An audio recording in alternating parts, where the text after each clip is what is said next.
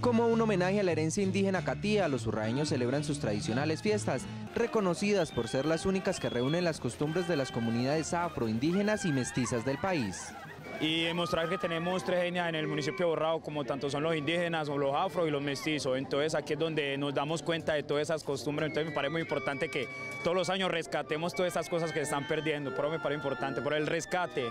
Porque son unas excelentes fiestas, es la cultura de nuestro pueblo y pues nos representamos más que todo así. Más de 10.000 turistas han llegado durante el puente festivo a esta localidad para observar en sus calles los tradicionales desfiles que relatan la historia de este municipio. Eh, con la romería campesina, que es como recordar un poquito esto, esta cultura que se vive en nuestras veredas, estas fiestas tan tradicionales que se ven. Como propuesta alterna, la comunidad también ha podido disfrutar del talento de los jóvenes quienes realizan competencias ciclísticas y exposiciones artísticas en los diferentes recintos del municipio. Una exposición de fotografía y artesanía.